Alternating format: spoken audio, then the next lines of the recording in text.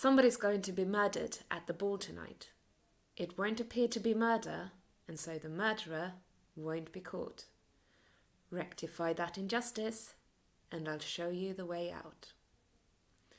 It is meant to be a celebration, but it ends in tragedy.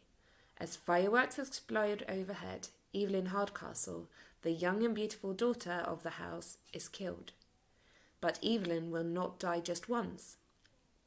Until Aidan, one of the guests summoned to Blackheath for the party, can solve her murder, the day will repeat itself over and over again, every time ending with a fateful pistol shot. The only way to break this cycle is to identify the killer, but each time the day begins again.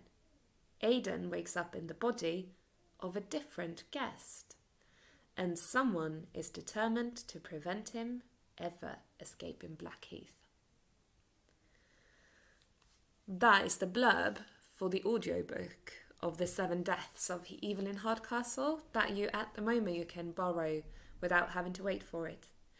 Uh, we've got it on our Borrow Box app, and I can really recommend this book. I really enjoyed the audiobook.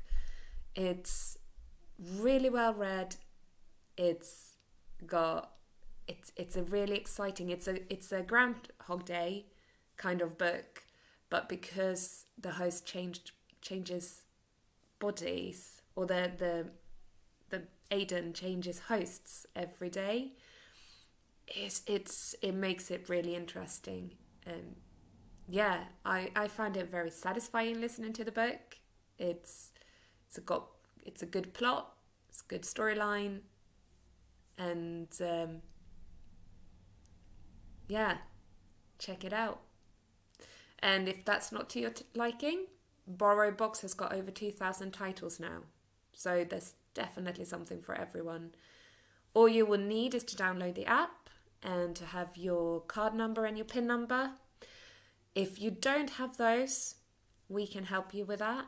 Just email us at seaton.library at librariesunlimited.org.uk and we will sort it out for you. And don't worry if you can't download the app, you can actually listen to the books on your device, on a tablet, or on a computer. So you don't need a smartphone to access the BorrowBox app. It's definitely worth checking out.